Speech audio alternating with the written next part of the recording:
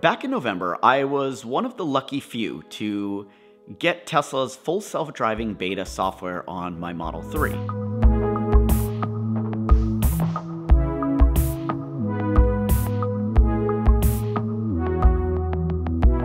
And it's been amazing watching a vehicle navigate local roads and city streets all on its own is pretty amazing and the first time I've ever experienced something like that. Since November, it's seen many updates and has constantly gotten better. Now, on the horizon, everyone is waiting for the expanded rollout of FSD Beta. Today, that group is still small and is still testing the software. Now, that software is utilizing all of Tesla's hardware in the vehicle. It's using the eight cameras that are present in the vehicle. It's using the radar that's present in the vehicle, and it's using the sensors that are present on the vehicle. But most recently, Elon suggested that Tesla could accomplish full self driving without radar. Now, radar is being used to see the cars ahead of you and the cars ahead of those to better get ahead of making a maneuver should it need to if a car slams on its brakes two cars ahead of you. Now, since the dawn of time, as humans, as we drive, we've only really leveraged our two eyes, and that's all we've typically had. It wasn't until recently that cars started to get cameras and sensors. So we've been able to drive for a long time with two eyes. Why shouldn't we be able to drive with technically eight eyes? All eight cameras that Teslas have. And that's Elon's argument is that from the eight cameras, it should be enough data and information for the car to be able to navigate and make decisions based on what it sees. And of course, the software needs to be programmed on understanding what it sees and what decisions that it makes based on what it sees.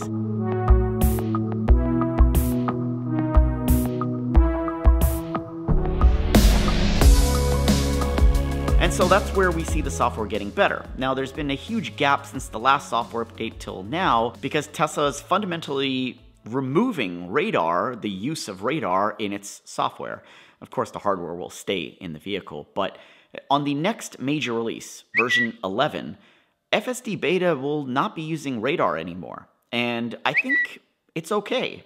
Eight eyes are much better than two, and as long as Tesla's engineering team programs it correctly, it should be able to see, interpret, and make educated decisions.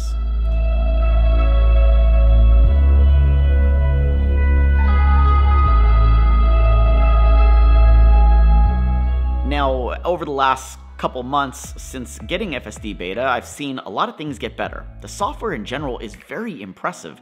Watching it make left turns and right turns all on its own, the ability for it to stop at stoplights and stop signs, the way it's mindful for pedestrians and bicyclists is amazing. And while it has a lot of things good, there's still a lot more to be learned and perfected. And while there's a lot more that I would like to see it get better at, here are some few examples that I'd like to see it perfect in V11. One of those is the confidence in the vehicle. Now, Tesla's of course programming these vehicles to be cautious. It's our lives that are at risk, right? And of course, it has to prioritize safety over anything else. And because of that, it tends to be more cautious when making decisions. For example, cross traffic. It waits for a very good gap on both the left hand side and the right hand side before making its maneuver. And sometimes that can take a while, and sometimes that can not come at all, because as you wait for the left side to clear, the right side goes clear, and vice versa. And so I'd like to see it be a little bit more assertive, because in many circumstances, it's a turn that I would have made on my own.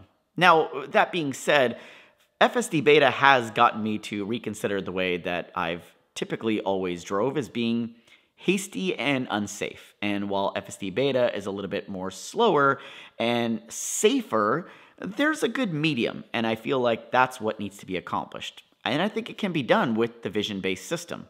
Number two is on turns. While the vehicle makes amazing left turns and right turns, when it's making a right turn from not a dedicated right turn lane, it doesn't get into the shoulder to make the turn. Uh, the shoulder is dotted, allowing cars to get into the shoulder to make the right turn lane, but the Tesla wants to make it from the main lane, which could cause an accident because there are cars now to the right of me that are making the same right turn that my vehicle is trying to make. This has been present in the software for a while now, so I hope with V11 that that also is something that's addressed.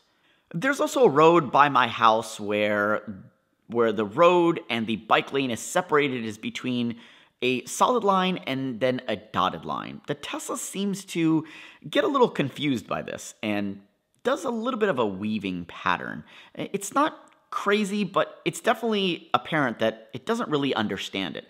And so I hopefully that that's something that it understands going forward. It still is very mindful of bicyclists and is aware of them and pedestrians and definitely stops giving them space and so forth. So better to understand the road markings and how to interpret them. Uh, I would definitely like to see, and I probably can expect it to be present there in the fully vision-based system of V11. The other thing with, of course, it being more confident is also understanding things ahead. If I'm making a left turn and then within a half mile I'll need to make a right turn, I should be making that left turn from the outermost lane. Thus, after the turn, I'm already on the right hand side and it's easier to make the following right turn. But what I've noticed is sometimes it takes the inside lane. Now, it's got the most updated maps, and the software is pretty intelligent. It should be taking the outside lane. And so that's another thing I'd like to see improved as we look at V11. Now, there are still some little gotchas like U-turns where we've seen a couple of examples where it's made a U-turn, really surprisingly, really out of uh, thin air, but most of the time it doesn't want to make a U-turn and seems to act like it doesn't know how to. Now, these are my personal asks. These are things that I would love to see get better, but driving is, in general, very difficult and involves a lot. It involves brain power. It involves vision. It involves hand-eye coordination. And so there's a lot going on, and to replicate that in a computer is not an easy task. It's a task that I fully feel confident in Tesla accomplishing, but there's a lot of gotchas and there's a lot of edge cases to accommodate for and to think about. It's going to take Tesla a while to be 100% perfect in a situation where you don't have to be in the driver's seat. But I'm excited about this next phase of being in the driver's seat, but the car doing 95 to 99% of the driving from point A to point B. It's really exciting to see that next step of the future of driving and transportation. I commend Tesla because what they're doing is not an easy lift and involves a lot of hard work from their engineering teams. And while it's gonna take them a while to get there, they're way ahead than anyone else on the market in gathering data, analyzing that data, and learning that data to make decisions based on what it sees. With so many Teslas on the road and so much data coming in, Tesla's way ahead. Tesla is at a superb advantage over any other manufacturer, and I feel if anyone's gonna win this full self-driving race, it's gonna be Tesla. I know I'm super excited to see the future of full self-driving and all the manufacturers get there. Let me know what you think down in the comments. What are you excited to see on V11? And what do you want to see me test when I get V11? If you like this video, hit that thumbs up button. And if you're not already subscribed, consider subscribing. Thanks, and I'll see you next time. See ya.